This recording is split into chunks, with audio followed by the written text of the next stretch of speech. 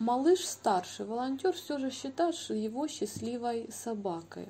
Время, к сожалению, работает против нас. Хозяйке домашнего мини-приюта Людмиле Черницкой приходится наблюдать, как с каждым днем угасает наш старичок. Малыш, и очень это больно осознавать. Он фактически ничего не видит и не слышит. Малыш живет своей жизнью, рычит на котов, кресла и даже на любую другую тень скрутится калачиком, как котик. Он всегда так спит, долго, долго кружится, а потом там же и ложится. Зайчик такой.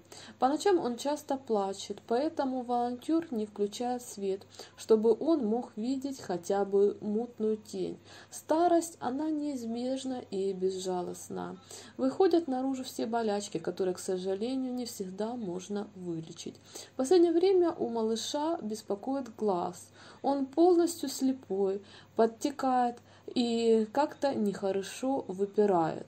Молится хозяйка, чтобы не пришлось удалять, так как с инсультом, который недавно был у нашего старичка, это будет не совсем безопасно. И все же, несмотря на все это, Людмила Черницкая считает малыша счастливой собакой. Он прожил у нас больше 15 лет.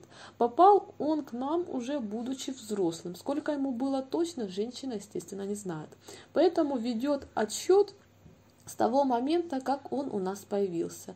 Э, то есть, по-нашему, в мае будет ему 16 лет, а там кто его знает. Друзья, в приюте много старичков, поэтому хочется уделять им больше внимания. Кроме каши, баловать еще и вкусняшками. Но из-за нехватки средств и других проблем это у нас не всегда получается. Пожалуйста, поддержите наших хвостиков. Им очень нужна ваша поддержка. Мы будем благодарны вам за любую вашу помощь.